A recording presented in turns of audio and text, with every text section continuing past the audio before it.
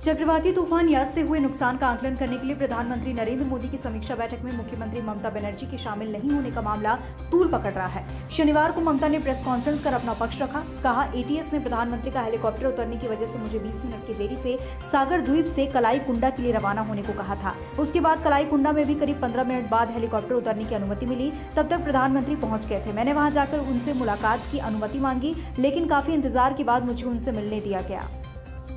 दिल्ली में वैक्सीन को लेकर सियासत तेज होती जा रही। दिल्ली की केजरीवाल, सरकार वैक्सीन की किल्लत के लिए केंद्र को जिम्मेदार बता रही। केंद्र सरकार का कहना कि वो पहले की तरह ही दिल्ली को वैक्सीन की सप्लाई कर रही। इस बीच उप मुख्यमंत्री मनीष सिसोदिया ने आरोप लगाया कि केंद्र कोरोना वैक्सीन की सप्लाई को लेकर अड़ियल बर्ताव कर रहा है।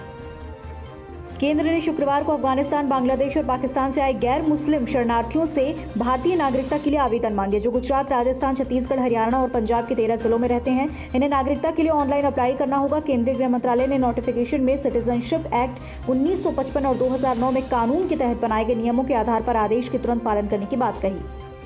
देश में कोरोना के मामलों में तेज़ी से गिरावट हो रही, लेकिन रोज़ाना होने वाली मौतों के आंकड़ों ने अब भी चिंता बढ़ा रखी है। बीते दिन देश में एक लाख पैंसठ हज़ार एक सौ छियासी लोगों में कोरोना की पुष्टि हुई। नए संक्रमितों का यह आंकड़ा पिछले सैंतालीस दिनों में सबसे कम। इससे पहले बारह अप्रैल को एक लाख साठ हज़ार आठ सौ चौवन नए मरीज़ मिले थे। दुनिया भर में कोरोना के मामले लगातार बढ़ रहे बीते दिन दुनिया में पाँच लाख दो हज़ार छह सौ उनहत्तर लोगों की रिपोर्ट कोरोना पॉजिटिव। इस दौरान ग्यारह हज़ार आठ सौ संतानवे लोगों की मौत, सबसे ज़्यादा मामले और मौतें भारत में रिकॉर्ड की गई। शुक्रवार को एक लाख इकहत्तर हज़ार नए संक्रमितों की पहचान, तीन हज़ार पाँच सौ तिरसठ लोगों की महामारी की वजह से जान गई।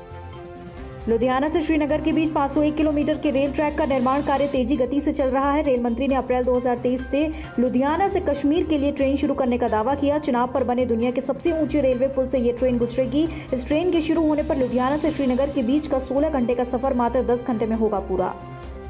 मध्य प्रदेश में कोरोना अब काबू में आ रहा, तीसरी लहर की आशंका की वजह से शिवराज सरकार ने एक जून से धीरे धीरे अनलॉक करने की तैयारी कर ली। इसके लिए गृह मंत्री डॉक्टर नरोत्तम मिश्रा की अध्यक्षता में मंत्रियों के समूह ने अनलॉक को लेकर सरकार से सिफारिशें की। स्कूल, कॉलेज और कोचिंग सेंटर खोलने के लिए भी मंत्री समूह का गठन किया। ये जल्दी ही बैठक कर अपनी सिफारिशें सरकार को भेजेगा।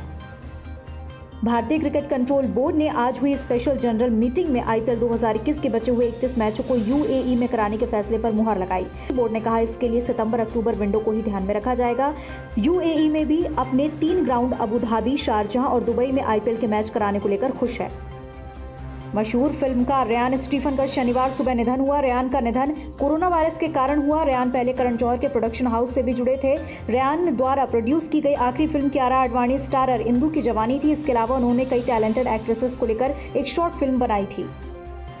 दक्षिण पश्चिम मानसून केरल, तमिलनाडु के बिल्कुल करीब पहुँच चुका मानसून की उत्तरी सीमा। इस समय कोमोरिन सागर में तटों से करीब 100 किलोमीटर की दूरी पर। अब इसके कभी भी दस्तक देने के आसार केवल मानकों के पूरा होने का इंतज़ार।